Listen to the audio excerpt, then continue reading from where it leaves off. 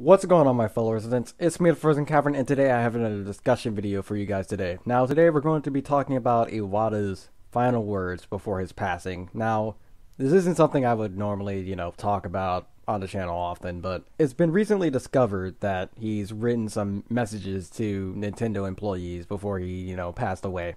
So, I'm going to leave the article in the description below. It's from uh, Zelda Universe. So, if you guys want to go ahead and go to that, be my guest. Now, Iwata's passing is something that still causes some Nintendo fans pain and sadness. Since his passing, we have learned various stories of him, like how he kept working on Pokemon Go even in his hospital bed. Now, that's that is dedication, and I appreciate him for that. How some of his early work was rumored to be found, but this next piece of information will surely cause some to drop a tear or two, so prepare the feels.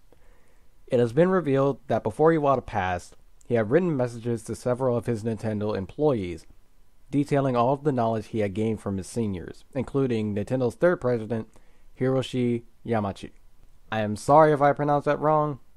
Clearly, Nintendo's future was always in Iwata's thoughts. Now, this is really one of the main things people were worried about when Iwata passed away was how Nintendo was going to change. However, Iwata made sure that everything would still be intact, that everything will still flow the way that it has been going on for a good while. So, he's smart for that. However, that is not all that he included in his messages, for it is also reported that he wrote about some really personal details of his life to some people, as well as some of his memories. It seems that Iwata himself knew he had not much time left in this world and wanted to leave a piece of his wisdom behind. Like I said earlier, Iwata, great man.